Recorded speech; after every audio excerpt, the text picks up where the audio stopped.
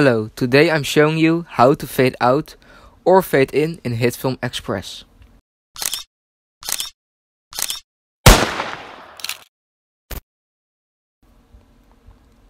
The difficulty will be rated 1 star out of 5 on the difficulty scale. You have two options to fade out or fade in. But first make a composite shot. And I call it fade in or fade out. Drag your videos or music into the composite shot.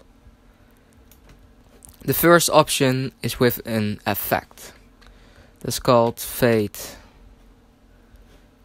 um, you can do it better in the editor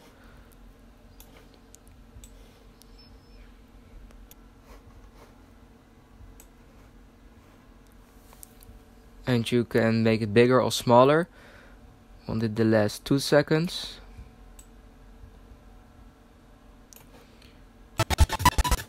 and if you listen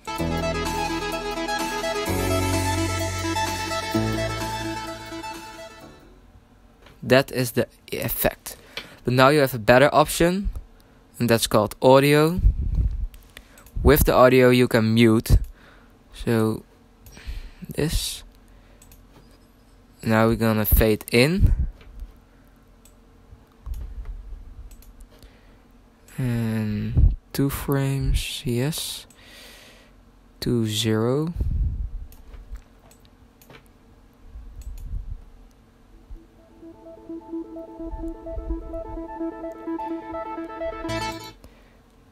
and you can copy this keyframe to copy it and paste it or click on this and I want to stop it here like this.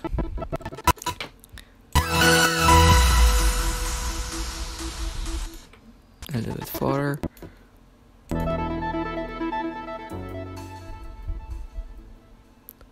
and this how you fade in or fade out. But if you want to make it smoother you can change the keyframe to this one. And with the failure graph you can just change it.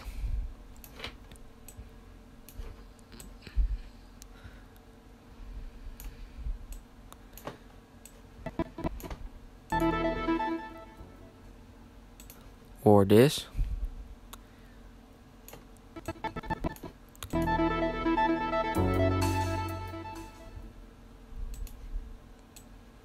Or this